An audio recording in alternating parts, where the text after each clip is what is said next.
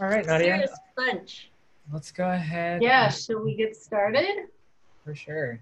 Uh, thank you, everyone, for, for coming today. Um, first, we'll just do a quick introduction. Uh, this session is run by the uh, Education Committee for the ACSA. Um, my name is Adam Fogel. I'm the current Vice President for the American Institute of Architecture students uh, and the Student Director on the board of, of the ACSA. Yeah, okay. And I'm Nadia Anderson. I am the chair of the Education Committee. And um, for this year, for 2019-20, and Danielle is bringing up our one and only slide, um, which is just giving the names of, um, sorry, the names of committee members, uh, and then a little bit of the overview on what we'll be doing tonight.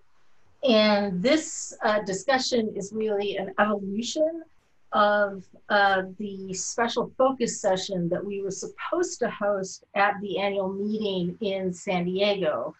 And when that session was actually called Imploding Studio, Can We Open the, the Black Box? And was set up to be an experiential session looking at breakout groups looking at different types of pedagogical strategies and then having discussion topics uh, related to those.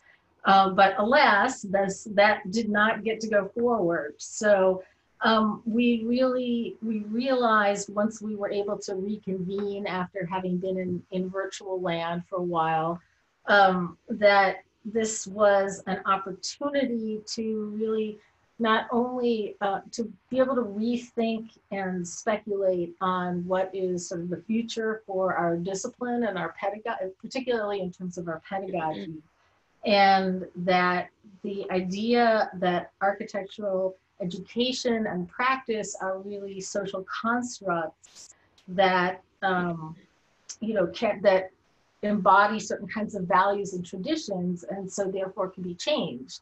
And we also very much wanted this to be a conversation involving both students and faculty. So I'm not sure exactly how we split out. I've recognized a couple students out there. Um, to uh, be able to start having these kinds of conversations um, because there have been there have been other ones on um, each side, uh, but in isolation. So let me first introduce um, introduce the committee. Again, I'm Nadia Anderson, and I'm an associate professor at the University of North Carolina, Charlotte.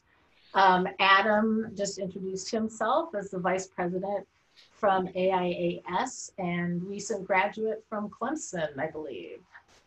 Uh, no, oh gosh, IIT.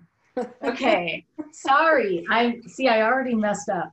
Uh, I don't know why I thought I was thinking Clemson.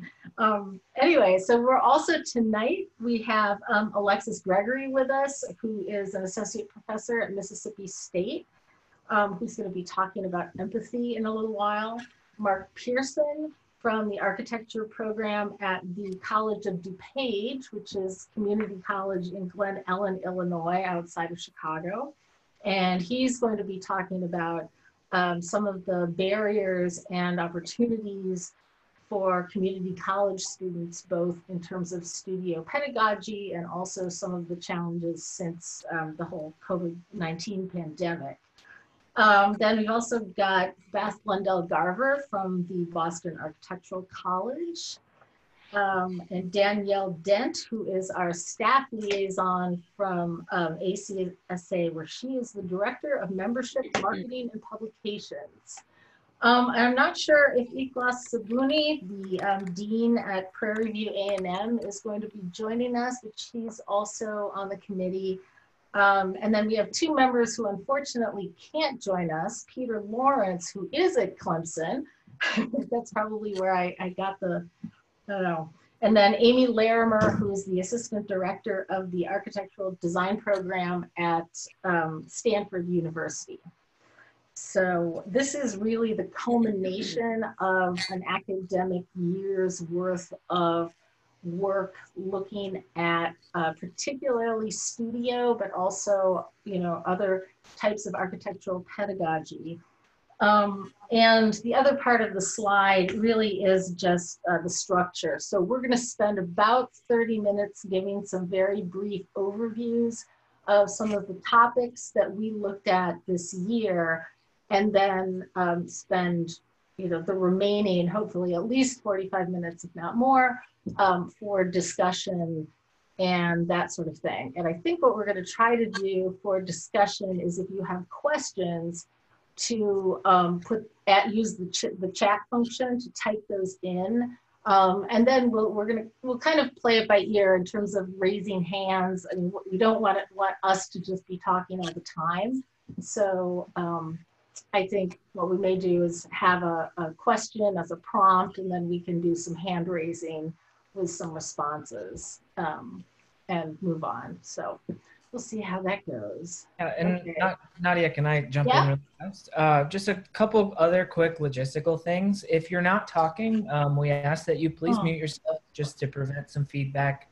Um, and as Nadia mentioned, if, if you're not familiar with Zoom by now, uh, there's a little uh, under the participants, there's a raise hand button. Um, please use that when we'll be talking uh, or answering questions if you'd like to chime in. Um, we'll try to call on as many people as possible. Obviously, we do have a small window of time, um, so we will be giving priority to people who haven't spoken yet. So just keep that in mind. And then we do want to hear from uh, a pretty good balance of students and educators tonight. Um, so thank you both groups for joining us. And uh, yeah, I think that that should do it. So I will toss it back over to Nadia. That's good. Thanks. Adam's Adam's a pro at, at these by now. All right.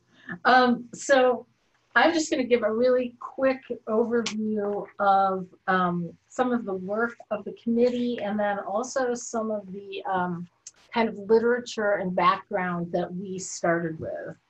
Um, so the previous two years of the Education Committee uh, really provided foundations for this year's work. In 2017-18, uh, the committee focused on, uh, particularly on socioeconomic equity, um, did some both qualitative and quantitative data collection on pipelines, um, admissions, uh, work on student journeys and paths through education.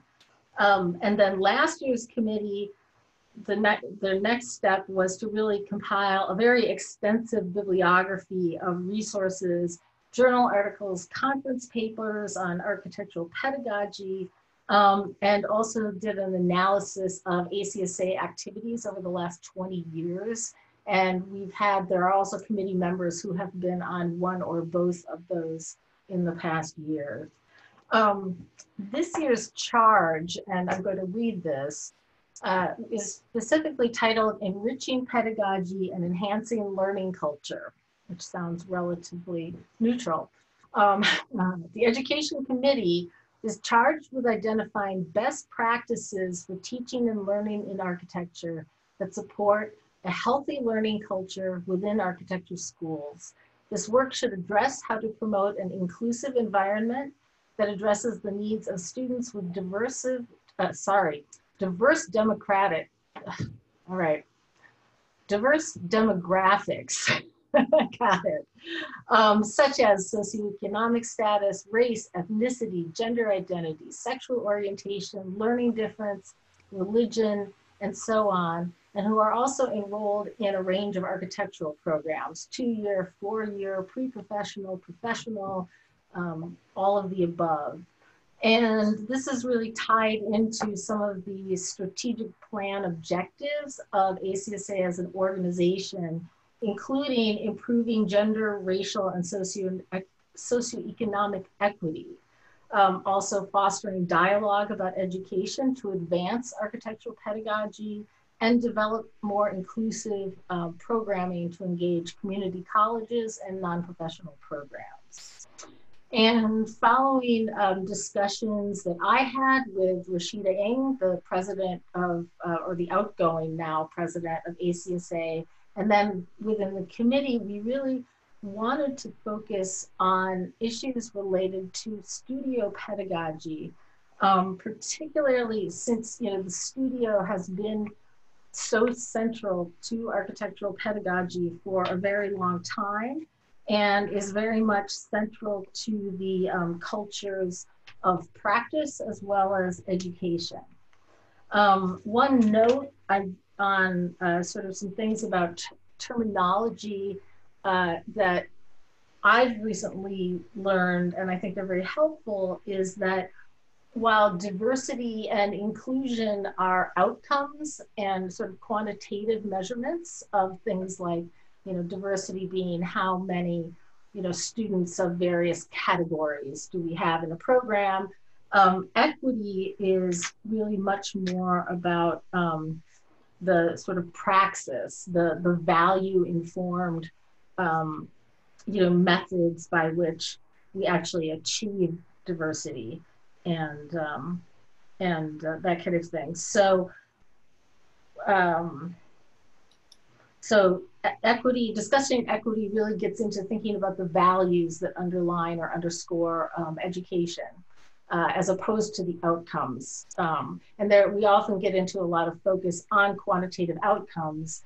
um, and without thinking, or the question is always, well, why have, for example, the percentage of African American students in architecture programs, you know, continue to, to be very, very low and have been that way for, you know, decades. Even and yes, there's some movement, but it's really minor in terms of um, the or you know Hispanic students, um, and that there are still these kinds of discrepancies, and that looking at the underlying values that structure what we do is really the next thing. It's what we need to do in order to diversify our approaches and have um, both students and ultimately faculty and practitioners who represent the public, you know, who represent the multiple publics that are out there.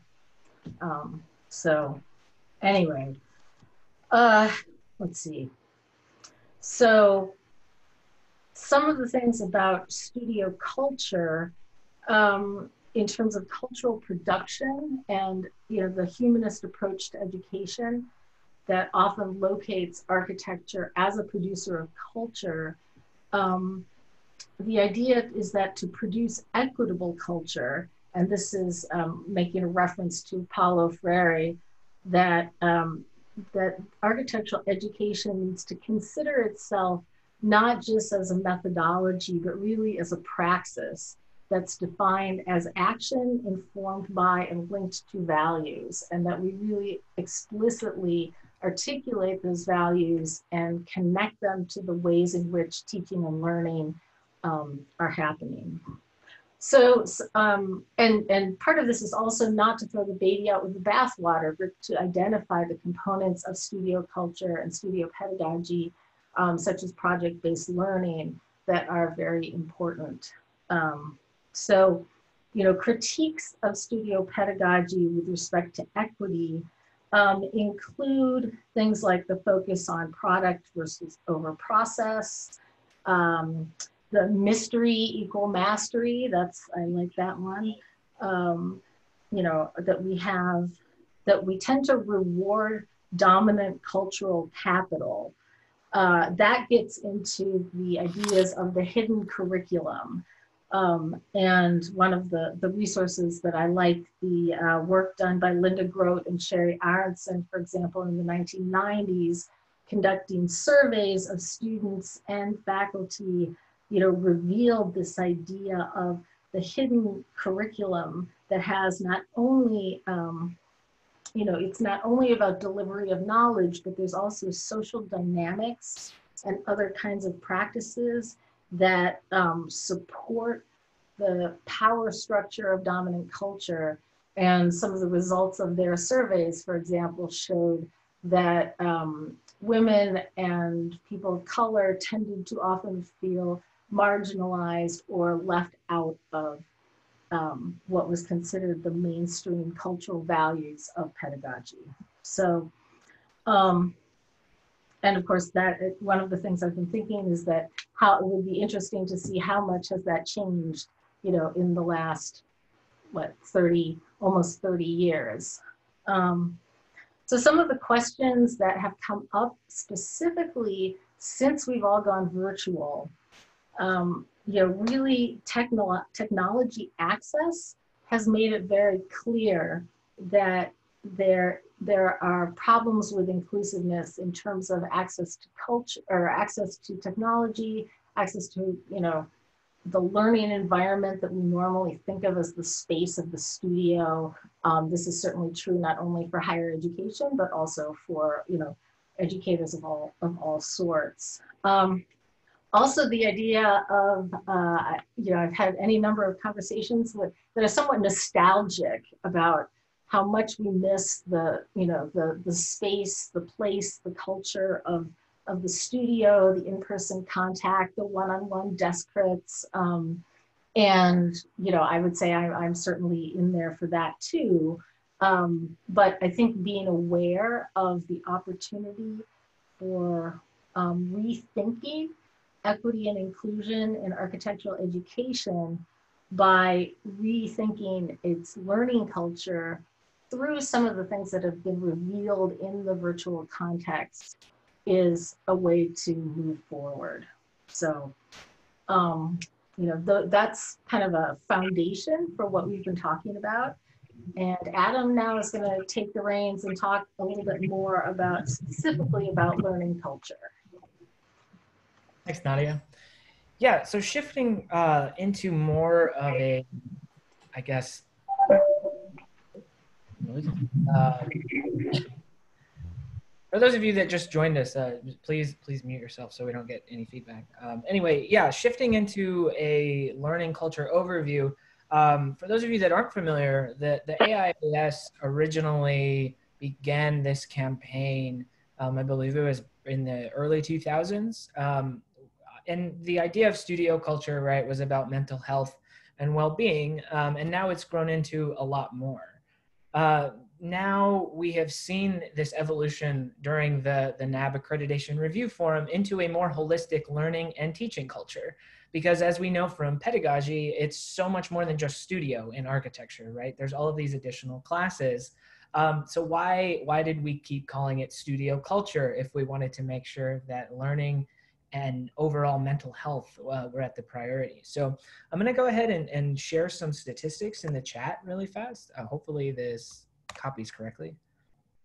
So this is some information that we had originally gathered um, when our session was supposed to be in person at the annual meeting.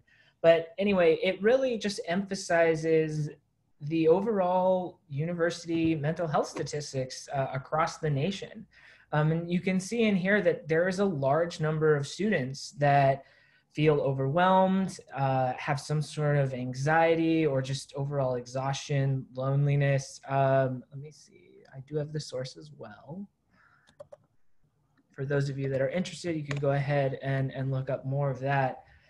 Um, but yeah, coming from the American College uh, Health Association, you know it's it's kind of overwhelming. Obviously this isn't just architecture students but we have all gone through an architecture program and we understand that oh wow this is this is definitely a pretty intensive program and curriculum.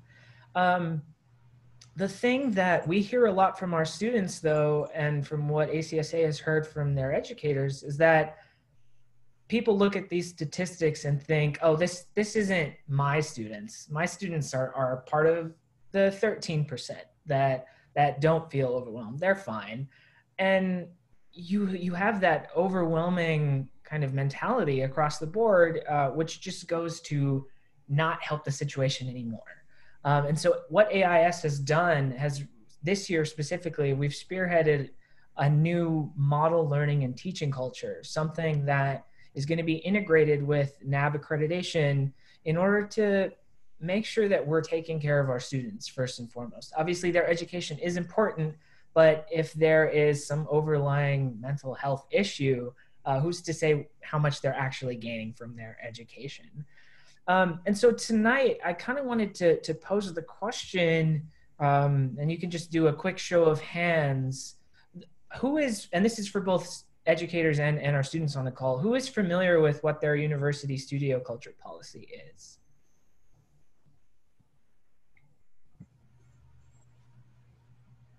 Okay, so a, good amount of people. That's great, and and we hope to see uh, soon 100% with that. Um, but the thing that we were really going to focus on is is how to talk to your students about learning and teaching culture. Um, because a lot of people don't necessarily understand where to start. Mental health is a more accepted uh, com- topic of conversation now than it was 10, 20 years ago, um, but it's still not quite where it needs to be. Um, the AIAS has actually put together a blog post uh, and kind of guide, if you will, and I can share that in the chat for everyone that's interested. Um, just how to talk and how to rewrite your studio culture to update it to the year 2020, especially now as we move into potentially more online or permanent online classes. Um, and so the kind of steps to just break it down uh, starts with research, right? How much does your studio culture policy actually cover? What does it specifically talk about? And then from there, you would break it down into some surveys, put together a few points, questions that you'd like to ask your students and your faculty, um, just how they feel about the studio culture policy, what you would need to improve upon, et cetera, et cetera. And then after you have had those surveys circulated for a while, host a town hall discussion. One thing that we hear a lot from our students is that faculty don't want to talk about this. Um, but from my experience now this year, sitting on both the AIAS board and the ACSA board, it's not necessarily that educators don't want to talk about it, it's just they don't know how. And that's okay, because I know our students don't know how to talk about it either. So we just have to make sure that there are plenty of opportunities to address uh, pedagogy and address mental health in the same environment um, because they overlap so much. And so having some sort of town hall discussion uh, led by your administration or your AIAS chapter or any other student leadership in the in the school is a great way to, to begin that process. And then uh, another thing that we suggest once you have this town hall discussion and you have compiled all your survey results and your notes from the, the meeting, uh, sit down with a dedicated group of people, someone um, that represents the faculty, someone that represents the student voice, and any other administrators in the school, and begin to write out and edit the current studio culture policy that you have.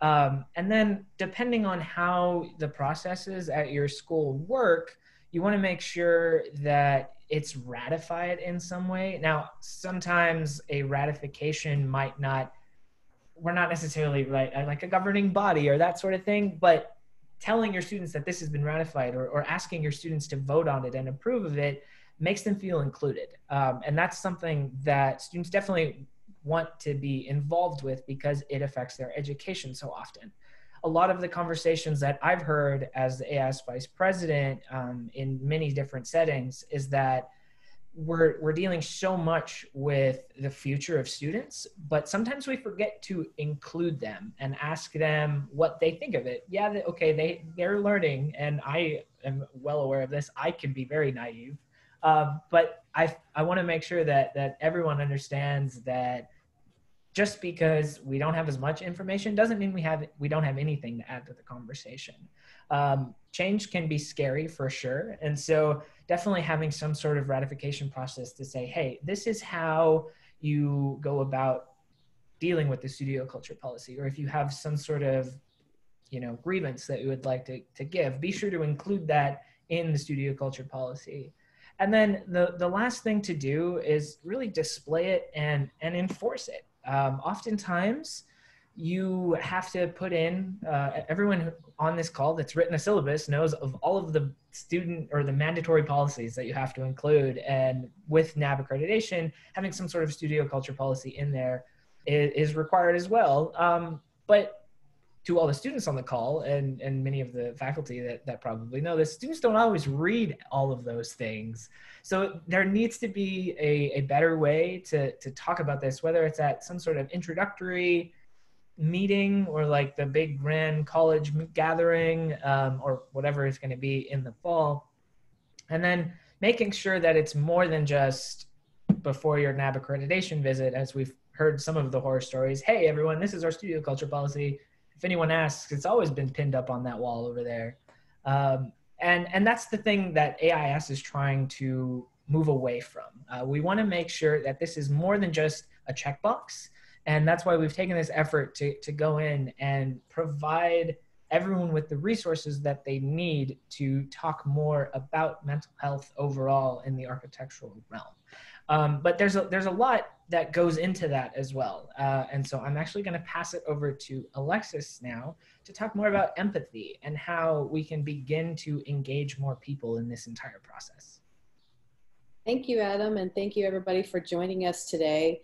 I'm going to talk about empathy, and it's a great segue from what Adam was talking about because if we go back and think about what Nadia talked about with the charge for our committee for this past year, best practices, a healthy learning culture, an inclusive environment, and really addressing our diverse demographics, we have to be empathetic, not just in the general sense and what Adam was talking about and asking generally about the student body, what their thoughts are and what their concerns are, but we also need to start thinking about our students on an individual basis. And we can all think about the issues and the um, struggles that we personally have had going online, having all of our classes online, struggling with some of us for childcare and teaching our children while we are trying to teach our students. Everyone's at home all the time, how you have to share your bandwidth. And so while these are more recent issues, we need to think about those in past studios and in future studios. How do we start to become more empathetic with our students and make sure that they um, feel they can talk to us about some of these issues. So some of the things I wanted to talk about quickly um, is first, architects generally are not known as being very empathetic when we meet with our clients. And so Architecture Studio is not really uh, thought of as an empathetic place by our students. It's thought of as a very intimidating and intense place.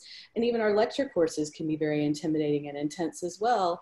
So we need to step back and think about how can we teach our students empathy, not just in how they should interact with clients, but in how we interact with them because we teach by doing as well.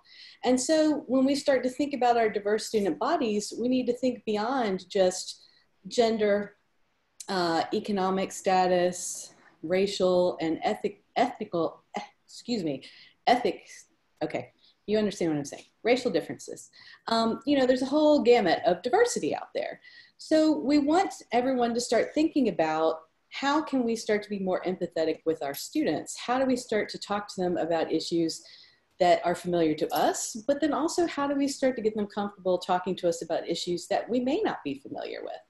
So some of the things I would like people to think about is, have you ever considered that some of your students have financial limitations that may limit the quality and the quantity of their work? Things like limited funds. So I teach at Mississippi State University. Our student body has a large number of students generally that are on Pell Grants. Many of them struggle to afford not just the materials necessary for an architecture studio or for a structures class, but also the technology, even the hardware and the software. And luckily we're able to get some of the less expensive or the free educational versions of software but some of these students have hardware that's very old and is not very strong. And unfortunately, when we don't have conversations with our students, we see those students as being slackers. We think they're not getting work done because they just don't care, but it's because they don't have the necessary resources in order to achieve work at the quality and the level of some of their colleagues. And so those are things that we might not be comfortable talking to students about money, but instead maybe having a conversation with them about what's going on? Why are you unable to get these things done? And I think things that have been most successful for me is how can I help you? It's not just about um, talking about design, but it's talking about the impact of school and design on everyone's lives. And so those things are important to think about as educators. But from the student perspective, how can you approach your faculty and start a conversation with them? And I know it's not always easy because faculty can be intimidating, but we do need to meet each other halfway. And so instead of just um, being shy and taking your lumps, so to say, when faculty give you a hard time about something, be honest with them and talk to them about your issues. And so I think if we can start to have empathy in both ways, knowing that students are struggling with things that we as faculty don't understand or may have forgotten because we haven't been students for a long time, But then also students need to understand that faculty are under certain pressures as well and just may not be considering at all some of the things that you're struggling with. And so we need to be patient with each other and start to have those conversations. And then once we start to understand what our students' struggles are, I think those can really start to help with the studio culture. And so it is a back and forth between the larger surveys and instruments that Adam has talked about, and then the one-on-one conversations with the students, especially the ones you work with more, so that you really can have a healthy conversation with them and find out more of the details that we can use in order to help them and to make architecture education work better for them and hopefully relieve some of the stresses. So from there, I'm going to pass it on to Mark, who's going to talk about community colleges and how that starts to tie into the rest of the conversation. Thank you, Alexis.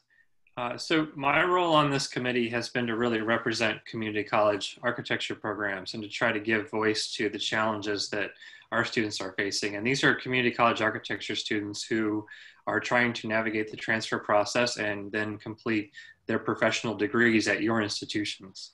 Uh, so initially, my work included identifying challenges, barriers, pinch points that community college students face in this process. And originally I was focusing quite a bit on studio placement when students go to transfer, which can be a primary concern. But this has shifted slightly with the pandemic and the move to remote instruction. Our committee has shifted a little bit in terms of our focus.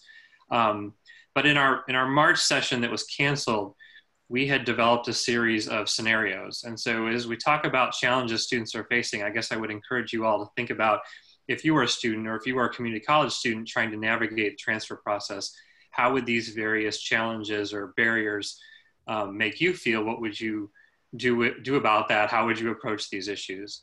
So um, I'm not going to go through our scenarios, but we had built scenarios based on a list of common challenges that community college students face. And so I reorganized that list to think about what are the challenges that were amplified by the COVID crisis, and then what are the challenges that I'm not sure about how all of the this kind of move to remote teaching and how those affect. So the things that we've seen amplified, certainly financial challenges. Um, oftentimes students started at a community college for financial reasons, and those have definitely been amplified with the move to um, remote learning.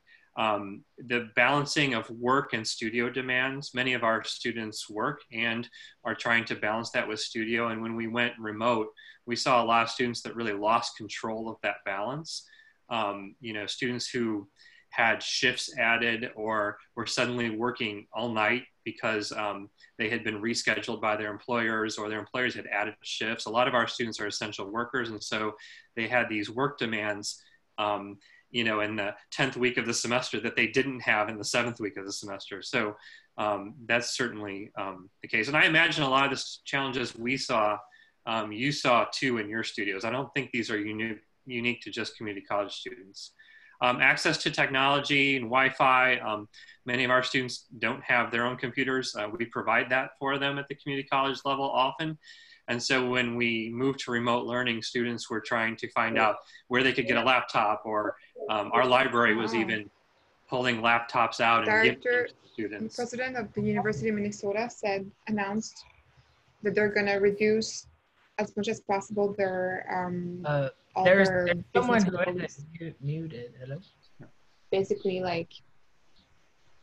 Sorry. So, um, access to technologies, really spotty Wi-Fi. Um, these have been, uh, you know, common challenge I think for all of us working from home, and certainly um, the students found that to be the case too. We had some students that were trying to attend class from their cars on their cell phone because it was the only place they could get quiet at home and actually get a good connection. Um, you know, stability at home issues were certainly, I think, amplified by the move to remote learning, and it became clear to us who had more stable home lives than others based on some of the challenges we were hearing from our students. And then, you know, the common thing we've all talked about is just students missing their peers and missing the studio environment and, and those kind of things. I, I suspect that these are challenges that are, again, not unique to community colleges and are probably mostly familiar to all of you as well. So those are things that definitely were amplified by the COVID crisis.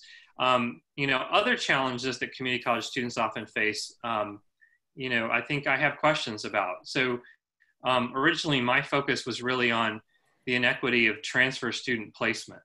um, and especially where students place in studio. Um, and so, you know, it's not uncommon for our students to enter the transfer process and place as a junior at one institution or into junior studio at one institution, and then find themselves placed at another institution as sophomore or freshman studio. Um, and, you know, sometimes, you know, they place into the junior studio at a private school that's quite expensive, and other times they'll place into the freshman or sophomore studio at a public institution, which is more affordable. And so just thinking about if you were in that situation, how you would approach that. And I think one of the challenges really stems from the fact that um, studio culture at, at, architecture schools is really central to the way that schools see themselves. But sometimes this can lead to um, the university program saying things to our students like, well, we teach studio differently. And so we want you to retake this class that you've already taken because um, we do it different here. And so our students hear that quite a bit. Um, and that's a particular challenge. And it's unique to architectural education because we're not hearing that a lot like for a calculus class or on another gen ed curriculum. Um, it tends to be almost always with studio placement. So that's a, that's a challenge. And I don't know how that changes um, with the COVID crisis, but maybe this is an opportunity to rethink, you know, the equity of how we grant transfer credit to community college students. Um, other challenges that the community college students face, particularly post-transfer, are things like adjusting to a new university environment. So how do these student, students come in and adjust to a new studio culture, make new friends, you know, integrate into new cohorts? Um, a lot of times our students will tell us that they didn't know how to plot or they didn't know they needed training for a shop or you know things that just moving into a new institution you know just natural challenges of, of moving into a new institution um, sometimes feeling the feelings of otherness or feeling like an outsider and so I, you know i think i'm wondering how does that all work in the fall if we're remote um, you know how do these students you know transfer in and then feel as if they are a welcome part of the junior studio when they might be taking that class from a Zoom in their bedroom. So those are some some things that I think are kind of questions. So I guess my kind of overarching questions for just to think about as we move into discussion is just how can, you know, it's related to community college students, or how can we help community college students adjust to new campus environments, especially during a pandemic? Um, and then just sort of thinking about overarchingly, like who's getting left behind? Who are we not serving? and how do we make sure that we don't kind of limit student access to an architectural education um, by creating unnecessary barriers? So with that, I'm going to turn it back over to our moderators, and I think we're going to open it up to a more lively discussion. Mark, there was a comment just that Amy made about wondering with regards to um, how non-NAAB accredited programs address studio culture. And so representing community colleges, if you, just wondering if you would mind sharing a little bit of your insights on that. Well, as non-NAAB accredited programs, we're not held to the same standards. So we don't have to have studio culture policies. Um, but we're always really, I think, watching what the university programs are doing and trying to make sure, I mean, our biggest concern is that our student our students seamlessly transfer, right? So we want our studios to look like the university studios, and I think we're you know acutely aware of um, all of the studio culture challenges that go with that. And so I think we're kind of in the same, we're in tune with that, but we don't have to have published statements, and we obviously don't have NAAB accreditation um, that would govern that. Yeah, I know one of the things that had occurred to me, and I realized that not that of course there are non-NAAB accredited programs that are ACSA members or associate members, um, you know, that of course that, that might be another, um, you know, another, another sort of channel and looking at how some of the different collateral organizations um, you know, I mean, NAAB is of course the, the kind of most requirement, you know, the, the most focused on those kinds of requirements, but certainly, um, you know, promoting the, I think promoting those kinds of statements would be, and, and developing them um, through the involvement of other organizations, um, you know, could be one way to, to think about dealing with that. Um, I think uh, you know we've we've had some really great comments um, in the chat so far. Um, just kind of start with um, just some ideas about uh, you know what kinds of things have people noticed, especially and what have your experiences been in terms of issues of equity and studio learning culture um, particularly since the start of the pandemic and the move to virtual, um, you know, teaching, and if those have been significantly different or if they're heightening or exacerbating conditions that were there previously. And I think that's very much something for both students and faculty, um, you know, to uh, to consider or to, you know, and you can, in this case, I would say we could probably do hand raising, do you think? Yeah, use that's Yeah. what thanks Nadia. I was gonna say, uh, as much as the education committee loves to hear themselves talk, uh, we would love to have more voices in this conversation. So Yeah, for those of you that would like to speak up um, in the participants button, uh, please hit the raise hand feature and we'll go ahead and, and let you talk.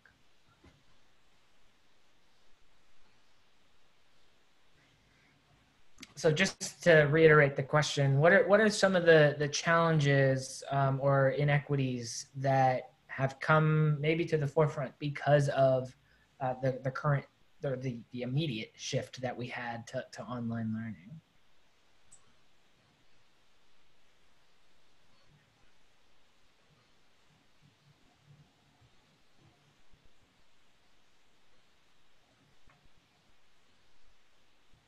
Okay, just just to get the the conversation. Oh no, okay, cool. We got some people. Um, so we'll go ahead and call on Jane first. Um, I'm with Mark uh, in the community college, so obviously our situation is different from many others. Um, but even those of you at four-year and uh, professional programs, I think um, when our students are living at home um, in a non-residential environment, some of these transformations have not been as dramatic. Um, but what they have all lost um, is the support system of each other. And I think that has been a, uh, it, it has hurt the least prepared the most.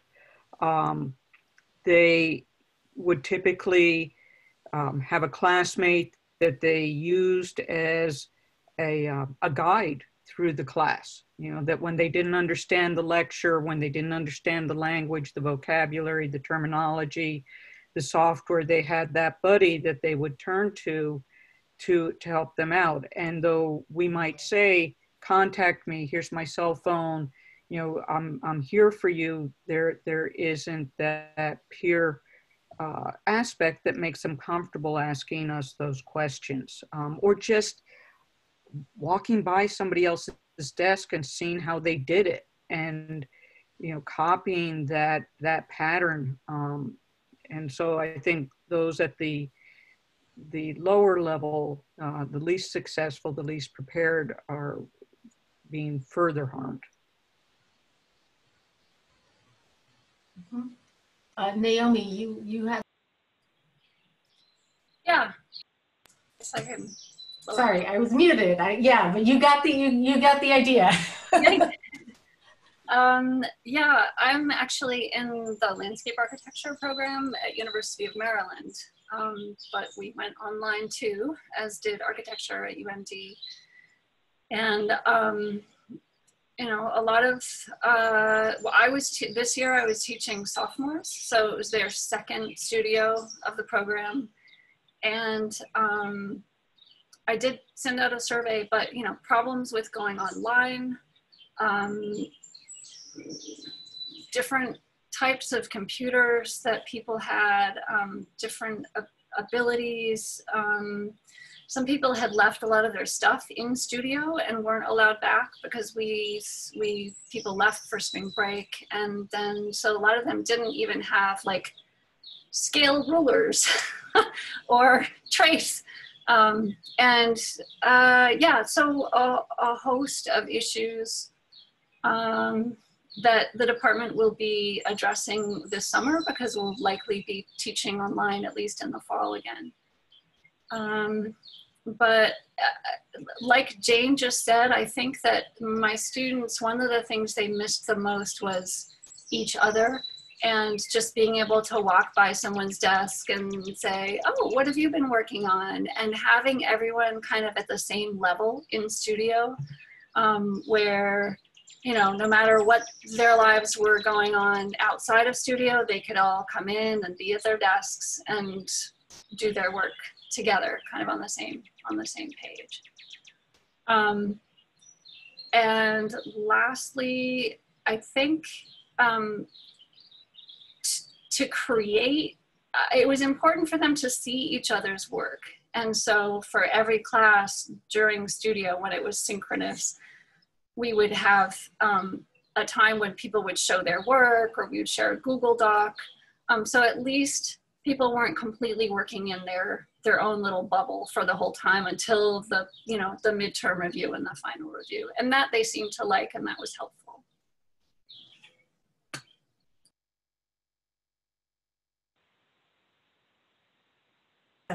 Sorry i keep uh, forgetting to mute. Patty i see you raising your hand. Did you want to jump in? Uh, yeah if you don't mind. I'm a student at uncc and um, uh, what's being said here is exactly true. Um, um, being able to be in the studio and being able to see what other people are working on and how it's done. Um, my reference points are different um, from students that have been in previous architectural programs. Uh, so being able to see how they do it, where they're at, the direction they're going um, is uh, just as much of an educational process as it is sitting with the instructor or listening to the professor. Um, I think it's really important to have group participation, even at the thought of sometimes maybe a student feeling un uncomfortable um, showing the project, um, maybe getting feedback from other students. Um, sometimes having another student say, maybe you could do it this way, or maybe you could try it that way, um, presents a different perspective that, um, which provides a well-rounded, encompassing response to your work, um, and then gives it more of an entirety of feedback. Um, so I believe that a lecture is great, talking, you know, seeing notes, uh, the, that is important. But as far as um, being able to uh, show our projects, our work with everybody, um, I think it's gives a broader perspective and a more well-rounded studio uh, process. I think that's a great way to incorporate the studio um, at a distance. Just wanted to bring that up, but I, I, think both what you said, both of you were spot on. Thanks for saying.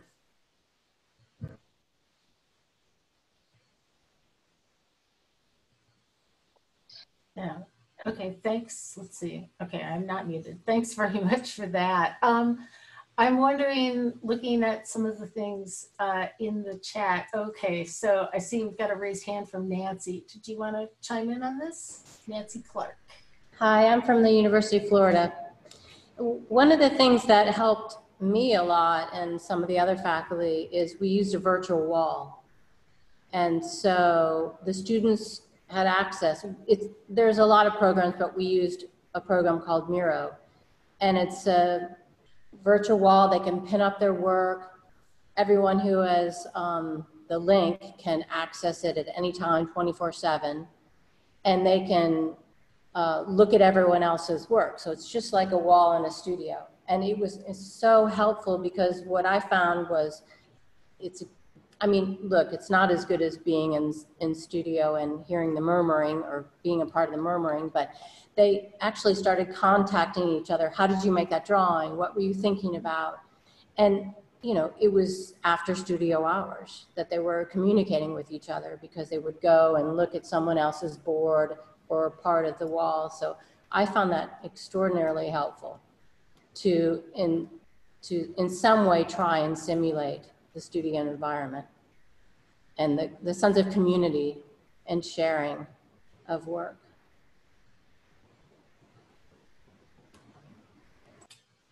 Yeah. Okay, Shannon, you've got your your real hand raised. How are you doing? Um, one Good to see thing you. you um, building on that, uh, I had my students uh, divide in teams of three and four students. So every Monday, Wednesday, Friday, we had a set time, and so they built a kind of um, sub core group. Um, we also met uh, at the end of the studio to check in with the entire group, but they would all pre-record um, voiceover slideshows, um, and they were due the midnight before studio. Um, so they would talk about their work. They would show a series of slides and talk through the process because I found that the static image was open to a lot of interpretation. And if this other students heard the students talking about that work, they understood what they were thinking about. Then when we met, the students could look at that between midnight and the next day in class and be able to go through two or three other voiceovers. And by the time we met, we had a 30 or 40 minute um, conversation in response to that work. And the students were asked to make comment. We did that 18 times um, after spring break. By the end of the semester, they were all pretty good at um, presenting their work and talking through it, making sure that what we saw on the screen as a series of images was in line to a kind of thinking process. So um, I found that asynchronous way of working, letting the students who might be in different situations um, look at that work on their own time, um, helpful, but also breaking down the groups and um, for the students to kind of practice um, over and over what they were thinking about developed, I think, a sort of empathy and support for the, the smaller group. Mhm. That sounds like a great idea. Um, yeah, I am curious. Um, there was a post a little bit earlier, and I, I don't want to um, put anyone on the spot, but, um, or I apologize ahead of time if I'm going to mispronounce your name.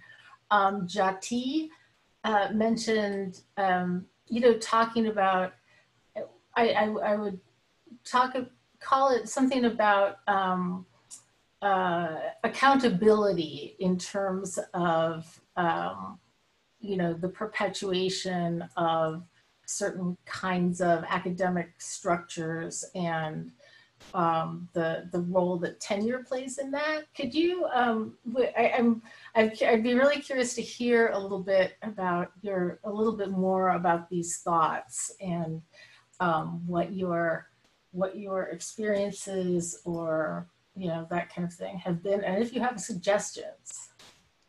I'm glad you called on me. Um, yeah, Good. I'm Jati. I'm Jati, and I just recently graduated with my Master's of Architecture from the University of Nebraska Lincoln, and that's Nebraska Lincoln. Um, because I want to put my school up on there. Um, and I'm also one of the 2020 Crit Scholars that I recently just presented to Vice President Fogel and President um, Curry about new art, art, new art call. My thesis was new art call, building inclusion and equity into architecture education. Um, so I did an entire thesis about why our schools are not building inclusion or how they are lacking in building inclusion and equity into architecture education. And I send this as a love letter, honestly, to my school, not as hate and a lot of, um, as we call it in our generation, shade. Uh, because I think a lot of times people think that brown folks, specifically younger brown folks in the millennial generation, are just noisy and that we just have no content but to make memes and all that. So when I say um, there are a lot of faculties out there who just perpetuate this condition of academic social stagnation, or I call it uh, kissing ass, uh, it's because y'all don't understand what it's like sometimes to be in a position that does not have any power.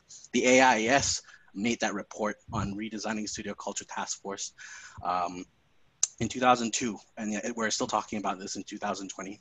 And it's debilitating to hear that no one in my school knew about that studio culture until it was brought up by students. Um, but more importantly, though, what you, you talked about accountability is what I was trying to, to hit on because empathy is great, but it only goes so far because in, in Nebraska, we have this thing called Nebraska Nice, is where I'm smiling and I'm saying, yeah, I feel you, I feel you. But it does not hold true if you're not accountable for it. So my position, or rather my suggestion, was that what if I mean, obviously, it's hypothetical because no one on this call has an overarching wand that can remove tenureship. But if half of these people on here, let alone everyone on this call, were to write a letter to their appropriate deans and or, or vice chancellors or chancellors of their school and say, we want to remove every single tenureship of every faculty in the College of Architecture and say, we will put that under review and have an equal vote between faculties and students. I wonder whether y'all will have the same sort of tenureship composition as you do currently, because three fourths of you are white, three fourths of you are male. And I'm tired of seeing that because your experiences were not the same as what my experiences were. And your experiences are perpetuating the people who taught you because the people who taught you were all white. So I did a whole thesis and just before I before I end my, my little spiel on that because like this is hard to say. Um, I'm not just a brown kid who who just happened to be, you know, it took a little longer in my undergraduate and stuff. Like my parents, my mom graduated from Cornell in the in 92. Um, and she was the Henry Adams Award medalist, and no one, no one knew who she was because she never used her real name until the very last day. And so she was the, the valedictorian at Cornell and the BARC.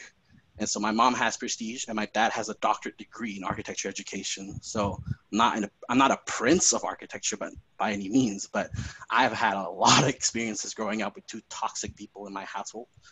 Um, and I'm just saying that y'all have some really real, real self-reflections to do if you want to talk about these discussions. Remove your tenureship just the way we should remove badges from from po- police, and I'm tired of hearing about this stuff, man. It's like it's it's really frustrating.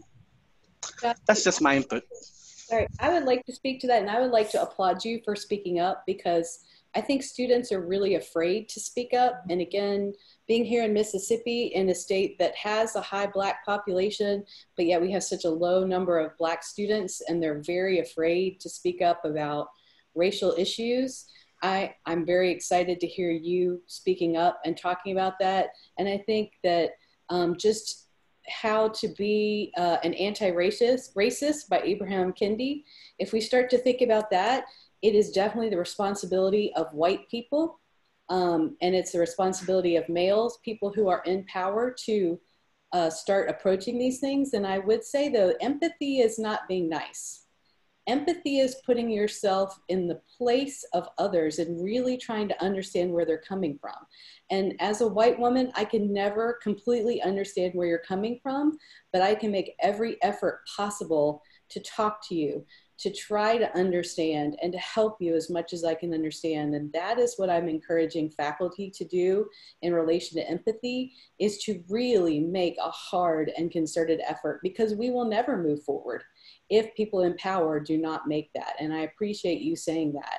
But that's also why I want to encourage students. It's uncomfortable, I know. I want to encourage students to have these conversations with their faculty because until they speak up like you do, a lot of faculty are naive because they've never had those experiences. And so it's really important that you said that. And I really want to thank you for saying that. Thank you. I appreciate that. And, and I just want to say like, I, I, I acknowledge my privilege. I'm privileged because like I've always had this position where like I talk back to my parents and my parents have always been sort of this metaphorical embodiment of architecture. But um, obviously I had to reconcile myself with some of that. Nevertheless, it's a privileged position for me to critique something like this and other people who have never had experiences in architecture they find it hard to do that. And so that's why I had to do it. And I'm thinking, and I appreciate Vice President Fogel for always giving me a platform and President Curry for giving me a platform. And thank you to the faculties who actually hear me and listen to, to some of the voices of students, specifically brown students and black students. Yeah, and I see that Adam just shared uh, a YouTube link to Jati's thesis presentation because I was going to ask that also if, if, if we could get your, um, I, because I would be very interested to um, to to look at that work. I think, um, you know, I I think that one of the things that faculty struggle with is um, the need, and this is probably part of our culture that we've come out of, the need to not be uh, vulnerable, the need to seem strong and um, in control, and you know, knowing that we know what we're doing. Otherwise, you will not have confidence in us. And um, I can tell you, as a woman who's received a lot of teaching evaluations, um, that you know critiques of who has knowledge and who does not have knowledge tend to vary a lot based on um, you know gender um, race all sorts of, of issues. And i also say that i think it's critical for faculty to be willing to be vulnerable um, and admit to students that they don't know everything and you know and so that that can help because you know I don't know what the experiences are of you know of a young man of color growing or who's you know 20 years younger than or more than I am um, and I would like to know more. Um, and it's sometimes difficult to figure out how to ask those questions I think. So yes thank you um, I want to write let's see Rachel has has a hand up for the question yeah, so I just first wanted to thank Jati for all of that. That was amazing to hear.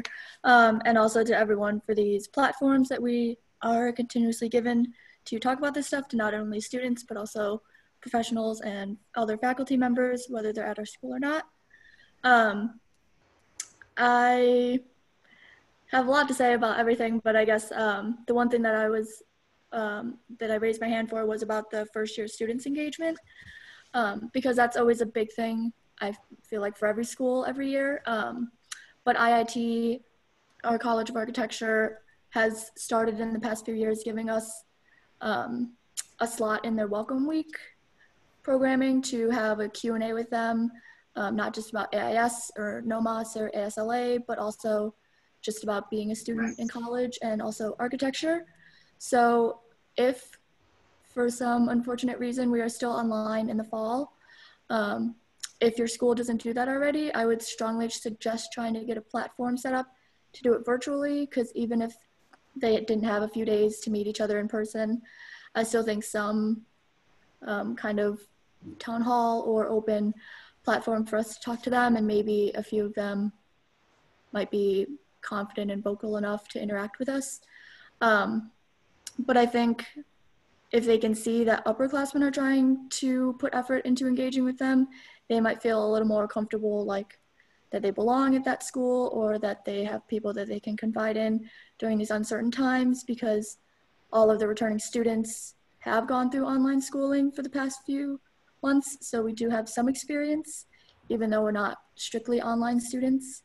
Um, or if we are in person again, that's great. And then hopefully people can engage with the first years or transfers is also a big thing because we also at IIT get a lot of College of DuPage students um, and we love them all.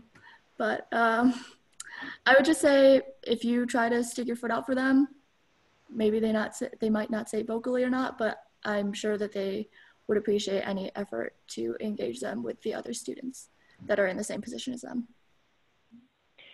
Jane, I can just weigh in a little bit too. Thank you for that, um, Rachel. With regards to the question, really appreciate it. And I, I direct a first semester kind of first day intensive class that is really about building community for students going, entering and moving into studio. And I have other colleagues from Boston Architectural College here. So please weigh in too with your experiences. So a couple things that um, I have done and moving forward into the fall and planning on um, potentially exploring and incorporating specifically within building cohorts. So like say a, a smaller group of students who will be in a studio.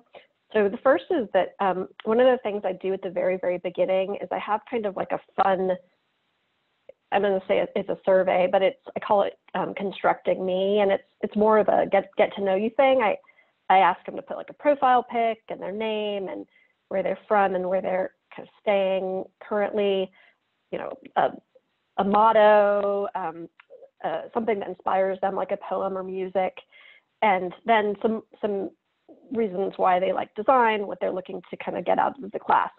I will take that and build a little mosaic with everybody's uh, profile pic, and then I will distill it down to usually where people are from and their personal motto. But I think, and then we'll share it together in a session like this through Zoom. Um, but it's nice for everybody to sort of see each other. Uh, with that exercise, I create a playlist um, of things and of sources that inspire students that help them. Um, one of the things that I had done to re to modify that this semester was I asked students what they did to de-stress and to kind of free their mind and rejuvenate. Um, and then I also asked students about what their kind of personal studio space looked like, what their you know, their in-home studio space looked like, and um, how they felt that it could be improved through design. So these are just things that while you're at a distance, I found with, I've done it now twice um, because for this particular class, it was actually already online, fully online before, before um, COVID. And so it's really helped. Uh, students really like it. They really respond well and they like to kind of see the, you can, it's a quick way of getting personalities to come come through. A motto is a fast way of getting somebody's personality. Um, and then just other quick tools that we use. WhatsApp that there was a comment about FERPA. So long as it's not, there's no personal record, there's no indication of grades or institutional record. We use WhatsApp for studios a lot. It's actually quite essential for us at, to, to allow students to talk to one another.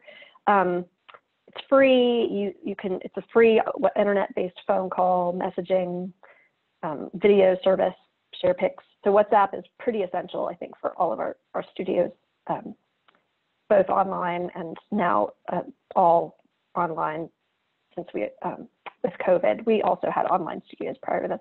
And then the last one I'm looking into is Marco Polo. It's also social media, um, but it's something I think I'm going to do in the fall. And it's uh, a way of, where students can quickly do video um, video captures and respond to one another and kind of go back and see short videos um, and talk and explore and share work that they're doing. So those are some things that I'm using to help build community for those, for primarily looking at like first semester, kind of first, really entry level students, master's and undergrad.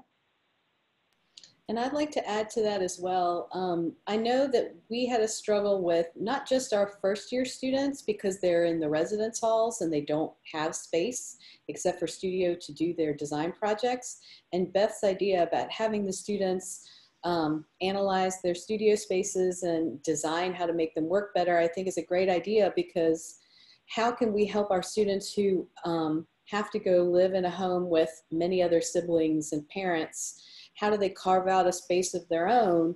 And maybe that becomes a design challenge at the beginning of the semester in order to help them think about what their needs are and how can they claim space even if it's not within their home. Is it something in their yard? Is it something somewhere? Um, you know, and everybody's situation is different, right? Again, I'm in a rural area, so we have more space than a place like Boston.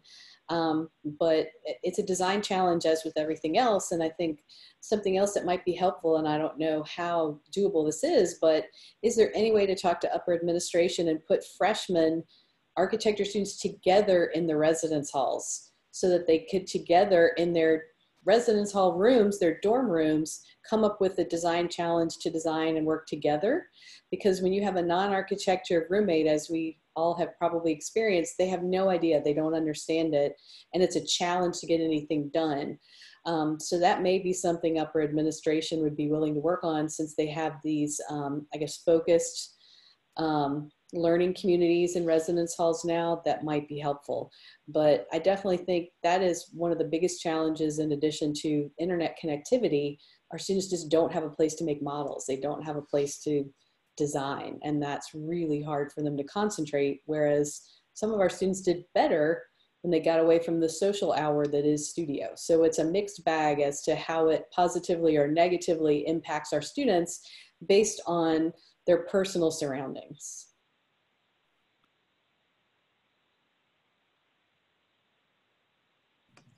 I'd like to add one more thing. Uh, this is Ikhlas Sabouni. Uh-huh. That uh, we are um, doing orientation online for our students, all the freshmen in the university in general. But also we have a summer program that used to be face-to-face and we're gonna have seniors uh, uh, from high school who are gonna start with us this summer and we're gonna have a whole week of just orientations and games to play with and to know each other and to know the faculty members. So uh, we are working on trying to achieve uh, the same way that they know each other in the classroom. And uh, as for the uh, housing on campus, uh, they do put uh, students from the same program to the best they can in the same uh, kind of units so they can be able to have even a, a supervisor who's coming from the same program that can help them. Good. Okay, it looks like, I think Amy, you had your, your hand up next.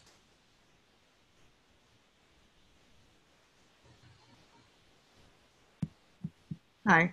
Um, sorry, let me just get situated. So I wanted to touch on a few different topics that have been somewhat insinuated, but not necessarily highlighted to the degree that I think might be necessary.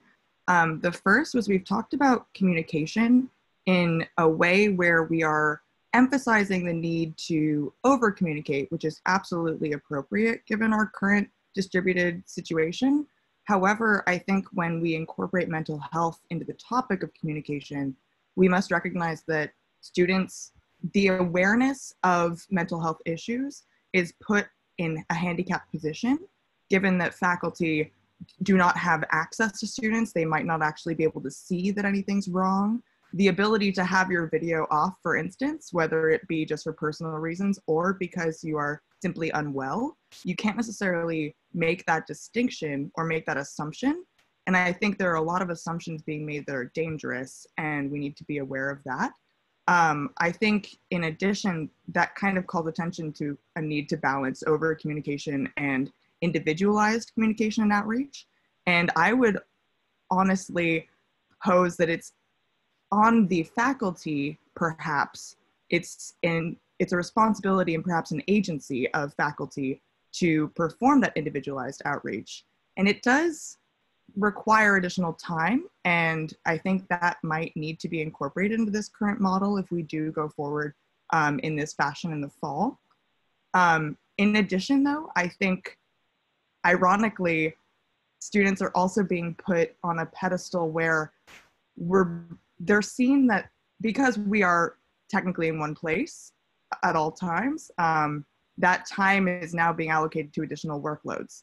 Um, so aside from communication, I think we just need to readdress work-life balance as a whole and understand that just because students are at home, um, it doesn't mean that they are able to take on a larger workload.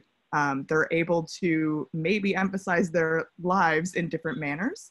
Um, so I wanted to call attention also, I'm sorry, I have a number of points and I'm taking a lot of time, but um, here's a survey. This is not about students, so caveat, this is about um, working professionals, but it is talking about Gen Z and how the presumptions we've made about Gen Z individuals being great at this remote work um, situation are being counteracted by these assumptions and the overburdening of calls and work and they're struggling due to different expectations of communication and a lack of time to get work done.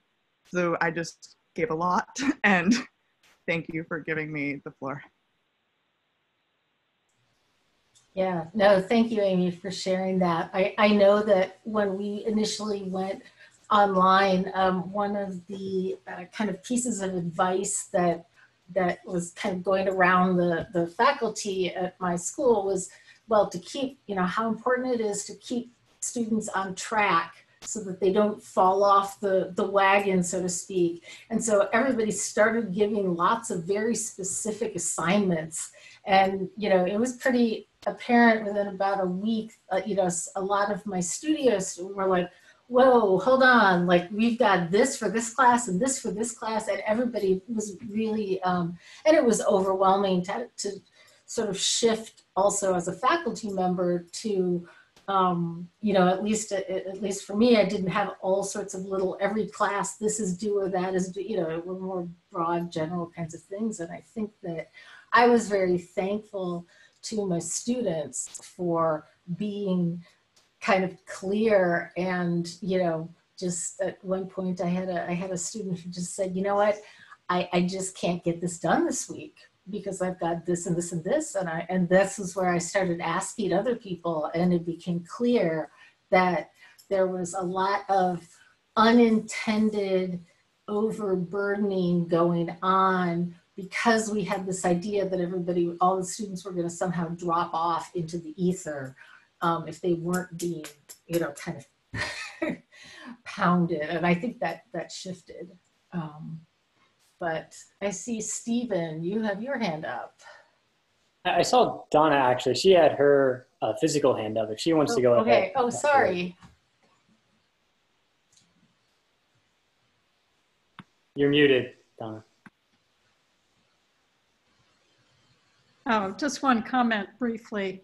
Um, and I found this out from because we all teach different students and they report on different things, and we're all really learning with this. But uh, the upper year and fifth year students, um, I would try to bring them in from time to time for brief meetings or to say something that I recall what they had done, that they could share this. And if we're online in the fall, I'm starting to think this is going to be very important that they connect up with upper year students. In our school, our students are all organized, if I could say together, so all the different classes are together, but uh, for that, just that purpose. But the thing I found out that was rather nice, and it might be a great challenge to the students, the upper year students, the fifth year, thesis students were obviously very unhappy that the last six weeks was gone to them and the colleagues and so forth. Although there were incredible things we did actually. Um, and in time, they may think differently about it. But anyway, they scheduled time with themselves when they could simply be modeling together. And I thought that that was really wonderful. Uh, so the challenge might be is how do you get this laptop to rotate so it can look down on your hands as you're modeling? So four or five of them would be modeling together and they would just have Zoom open and just being there watching each other's things. It was really wonderful to hear that. So that's my comment.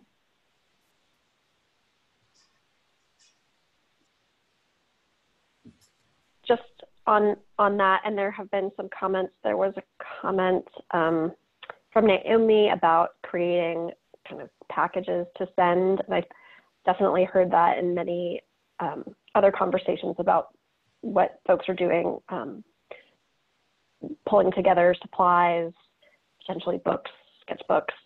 Uh, so with that, one thing that I think we're thinking about, at least certainly I'm, I'm thinking about, is including uh, little scrappy but very effective boom to allow students to situate their phone in a way so that they can record and share the work that they're doing on the work surface.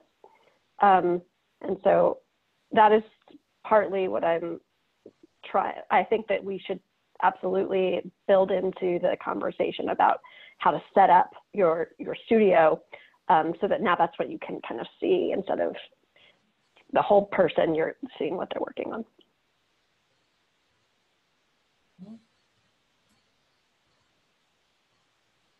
Very good. Okay. Um, I think Erin, Erin Conti, you were. Stephen, Stephen had his hand raised first. Oh, sorry. Stephen, did you have another comment or? I, I do have one quick oh, comment. Sorry. That's all right. Don't worry about it. Um, I, I, just wanted to, to touch on um, something that Adam brought up at the very beginning, which was the uh, studio culture. Um, uh, what's the word? Um, the, the document that basically outlines what is supposed to be done and what should not be done. And I think you know that's important, um, but but practicing what you preach is more important by the professors. And uh, one of the most important things that has happened in my experience, I'm currently a master's student at UNC Charlotte, but when I was an undergrad at UVA, um, the dean at the time, Beth Meyer, uh, invited the whole um, student body. It, it, was a big group, not the whole student body, and a few faculty um, to sit and, and share their own opinions about what their experience was like as students um, and as teachers. And it was a very open conversation. And, and Beth Meyer, I admire how she uh, opened how hard it was for her career and, and for her student, uh, studies and everything else. And for the students to see that and see what she had gone through, and then to see how she was willing to say, I don't think it's worth having all nighters, or I don't think it's worth to do that. Um, and to have that come straight from the dean was, was really impactful. So I, I just wanted to um, take this opportunity to say that, that words and actions go a very, very long way in, in building respect and, and inspiring students to, to work healthily and collaborate in very um, good ways. And uh, so that, it may be hard and maybe easy. It, it's a very personal thing to do, but um, it worked quite well um, for Beth Meyer at UVA. Thank you. Thanks.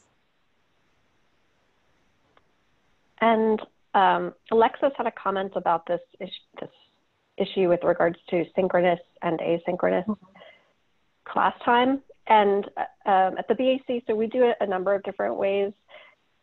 And I think the question was about whether synchronous class helps students manage their time and feel less overwhelmed because it uh, is more similar to a regular schedule on site.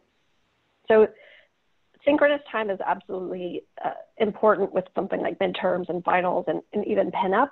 I think that the time is spent, oh, there's a lot more one-on-one conversation. And so if, uh, if the faculty is having a one-on-one conversation like a desk crit, then you, you know, students don't necessarily need to be present for, for all of that. So in, in some cases, it might be asynchronous except for when you have an appointment with your faculty, which might not actually fall within what would be normal class time. It's something that you could schedule using um, Calendly or something, you know, within the whole week, one-on-one with your faculty, which I think is, affords a lot more flexibility for students um, than having than having to always have a large portion of the day and several days dedicated to studio time. Um, I have asked my students about whether or not they want synchronous or asynchronous time. And I, am really trying to kind of embrace this co creation of class and um, kind of let go of control. And so my students had said this is very in line with what Amy was sharing, but that they really only wanted synchronous time when it was like really important that that that they get that. So what I had done otherwise is basically record what I wanted to go over. In I tried to keep it short, but it was generally 30 to 45 minutes, and then make that available for everybody to watch. If you put it on Moodle or Canvas, you can see who you can make sure everybody's viewing it, how many times they've watched it, um, so you can make sure that they're engaged. But it is asynchronous, and then I. Uh, I think I, you know, I've definitely limited the number of times that we were all together. So asking students what their preferences are um, and then trying to hold them accountable to the time that they're agreeing, I think people really appreciate it. And you might be surprised, you know, if students say, we really want it to be synchronous, then you know, okay, you're not going to burn out during this time because this is what you asked for. Um, and, I, and I think it's a mix of, of both.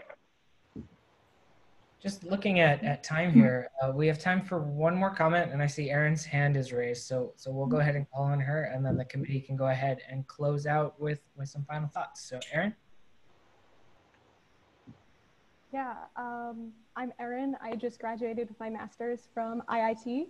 Um, not to go too far in reverse, but I did want to touch a little bit on some of Amy's comments, particularly about mental health, just because I think it's really important um, and wanted to share kind of a personal story because it just made a really big difference for me as a student during this time. Um, like many students and faculty, like I struggled a lot mentally when everything kind of shut down and found myself falling behind. And even though I was just at home, I was still uh, working an internship from home and um, serving as Midwest Quad Director for the AIAS and being a full-time student. And it got very overwhelming. And um, I was very nervous to talk to any of my professors about it. Um, like I think a lot of students are. Sometimes it's unfortunate, but it's still almost seen as, you know, you're using an excuse um, when we know mental health issues are very real and should be recognized. But um, I finally did one day, I just really needed a break and had not completed my assignments. And I was honest with my professors and said, here's the situation and I, I will not be attending class. I just need a breather um, and to catch up. Um, and a couple of my professors just said, okay. Um, but one of them reached out and said, hi, I totally understand. Um, would you like to have a call just to talk? Um, and I said yes. And that weekend we talked on Zoom for about an hour, not even about the assignment at all, but just about how I was feeling and also how she was feeling about the whole situation. Um, and it really made a huge difference. It just took a lot of pressure off that I was feeling because I was just sitting thinking um, she was going to be so disappointed I hadn't completed the assignment. But just talking uh, person to person, um, it made a really huge difference and helped me get through the rest of the semester. So I think keeping that in mind, both students and faculty, just being really upfront about how important taking care of your mental health is, along with getting through all of our courses. Um, yeah, thank you. Erin, I really appreciate that as well because that's what I was hoping to convey with this idea of empathy. And Nadia talked about everybody being able to um, kind of let their guard down and show that we're human. And I think you making that point from a student perspective is really great because as faculty, sometimes we feel like we always have to be strong for our students. And being able to talk about how we are scared and we are frustrated and we're exhausted as well definitely humanizes us and we can start to be more empathetic because we start to think, hey, maybe my students are having the same concerns with money and with childcare and things like that. So I appreciate you saying that and the fact that you were brave enough to talk to your faculty about that, even though you were scared. Yeah, I think that's really important. And I, I know, um, you know, we're just about at time. I think though that one of the things I worry about, I, and I know I, I, I saw a comment, um, you know, about uh, a not very non-sympathetic faculty member who basically said, you know, suck it up and and you know get through it. Um, that the ability for students and you know for students if they to be able to go to a different faculty member, I think you know sometimes the uh, you know having having office hours can be as productive because somebody can drop in and you know, and and I think that that's one of the things that not being sort of present, you know, in the physical space. I mean, yes, you can schedule an appointment and a time, but I think that can be, um, it, it's much, it feels much more formal. And so that's, you know, one of the things that I've wondered about is, you know, is there a way to create you know, like an open office hour or something where, you know, not only can my students drop in, but if there's another student that maybe a former student that, that you know, has a concern about something, um, that, you know, we can do that without having to, the formality of having to always schedule a Zoom appointment was something that um, I found a little bit uh, overwhelming. and I, you know, and I know that, that um, others mentioned that too, that the ability of how to interact with the community of the studio in a casual way, um, you know, really gets kind of, um, uh, you know, truncated by the, the, um, the formality of the online community. So um, I think that that's, that that's something that we need to be cognizant of. Um, and I'll yeah. say I miss also miss my my colleagues who I often, you know, drop in on casually to sometimes for a sort of mental health break, you know, and not that maybe maybe people that I don't have long standing relationships with, but we can have a chat, you know, of some kind. And so um, I think those are challenges to think about, um, you know, into the future. So well, we are now at time, it looks like. Yeah, thank you everyone for, for jumping on. Um, this was a great discussion and just a, a quick thing. We've seen uh, Naomi just shared a Facebook group. Um, I just created this Google Doc if you would just want to throw your name and email on it. I know a lot of people um, are still having conversations in chat, which is great. Um, and so just because the call is over, we don't want the conversations to stop. So please join that group. Uh, put your name, school email on the Google Doc. And that way you can continue talking about equity and empathy. You can continue talking about tools that you'll need for your students and how to engage with new and first year transfer students um, during an online environment, et cetera, et cetera. Um, thank you everyone who, who spent the last hour and a half with us today. The ACSA Education Committee is very excited on how this all turned out. We're glad that we were able to put all of our hard work into a formal presentation of some kind, um, even with the annual meeting not, not being held in person this year. Um, and we're also really glad that we got to include students in this conversation, especially mm-hmm. because it does affect both sides. And yeah, we wouldn't have teachers if we didn't have students. Um, so with that, thank you everyone and enjoy the rest of your evening. All right. Thank you. Thank you so much. Thanks everybody.